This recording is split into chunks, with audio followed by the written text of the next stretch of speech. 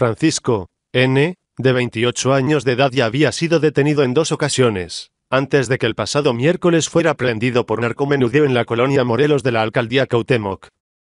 La Secretaría de Seguridad Pública local informó que al momento de su detención el hombre estaba fuerte armado, incluso portaba un arma de fuego conocida como cuerno de chivo, y 17 cartuchos útiles, además de 110 kilogramos de hubiera seca, al parecer marihuana.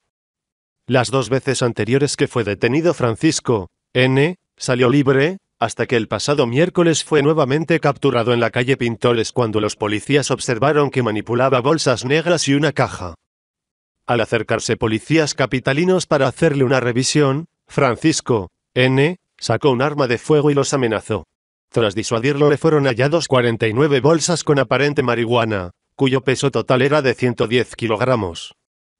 El hombre de 28 años fue arrestado por policías de la Ciudad de México y presentado ante el Ministerio Público.